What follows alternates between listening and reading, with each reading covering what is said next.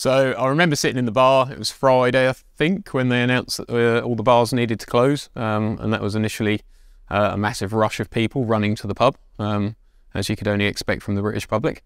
Uh, and then after that, I think uh, I think fortunately we're a small company, um, so we were able to act very quickly um, and make some plans to kind of change the business. But up to that point, we'd basically sold our beer on draft for well, nearly two and a half, three years, and we were in our third year of trading then.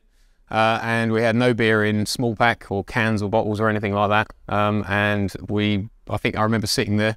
I picked up the phone to a small canning company, a mobile canning company, and immediately booked a uh, a slot with them uh, to come and can everything that we had in the brewery and put it in small pack, um, so we could potentially start selling it online. Uh, and yeah,